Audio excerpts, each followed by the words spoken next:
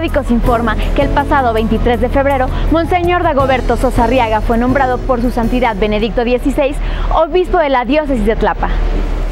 La arquidiócesis de Puebla felicita a Monseñor Dagoberto Sosa Arriaga por su nombramiento el día de ayer como el tercer obispo de Tlapa en Guerrero.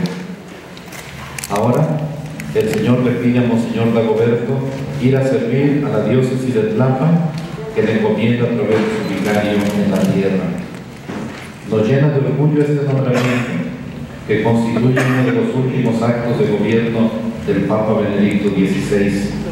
El mensaje que le deja la Arquidiócesis de Puebla en estos dos años que de camino en la Arquidiócesis de Puebla. Bueno, pues me deja todo todo un legajo de experiencia que se sintetiza, yo podría decir, en las expresiones de aceptación de la, de la gente, eh, en donde quiera que vamos, pues sabe que vamos a llevar el anuncio del Evangelio y que eh, pues nuestra tarea es eso, servir al Señor, ayudándoles, transmitiéndoles esa palabra de fe, de esperanza, de amor que hemos recibido también de Cristo y que el Papa nos pide que seamos portadores de esta buena nueva. Entonces yo voy dispuesto, como está de moda ahora decir, a sumarme. Yo no voy a, inventar un hilo nuevo ya, sino que ya hay un trabajo de 20 años. Entonces este trabajo eh, yo veo que es fructuoso y, y quiero sumarme, quiero, pues claro, aportar lo que yo pueda, pero siempre unidos a sus planes parroquiales, pastorales de la diócesis y yo veo esta disponibilidad ya que van caminando un buen tiempo.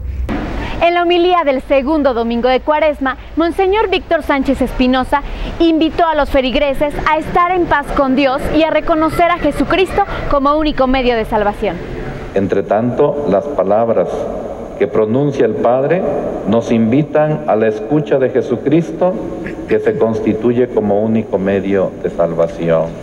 En estos tiempos, queridos hermanos, en que parece que nos hemos acostumbrado a ver rostros angustiados, desesperados, por desempleo, por inseguridad, por hambre, rostros tristes por soledad, por rechazo, desencajados por la desesperanza, el Evangelio de hoy nos invita a poner la mirada en Jesús y a escucharlo entre otras noticias, el pasado 22 de febrero dio inicio en Izúcar de Matamoros la fiesta dedicada a Jesús Nazareno y la Virgen de la Soledad, comenzando con una procesión a la que acudió nuestro señor arzobispo.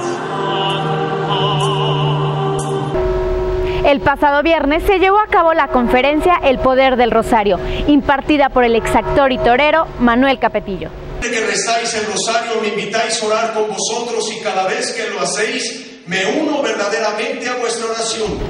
Hasta aquí el acontecer de la Arquidiócesis de Puebla. Para más información visítanos en www.arquidiócesisdepuebla.mx.